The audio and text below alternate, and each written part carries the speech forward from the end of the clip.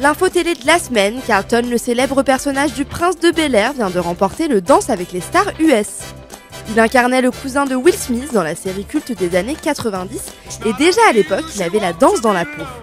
Sur une chanson de Tom Jones, Carlton avait fait le buzz en partant dans une interprétation complètement kitsch du morceau. Rappelez-vous, c'était énorme.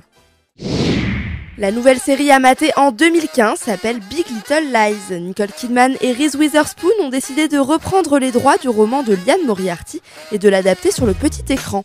Prévue pour 2015, la série tournera autour de la vie de trois mères de famille qui seront prêtes au meurtre pour garder leur jolie petite vie. Une série à la Desperate Housewife qui risque bien de faire un énorme carton.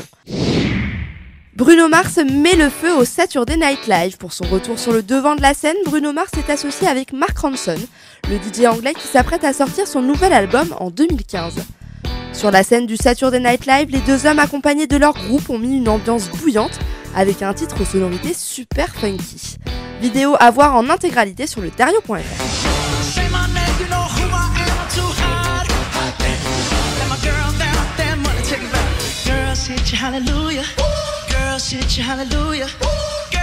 Hallelujah. Cause Uptown Funk gon' give it to you.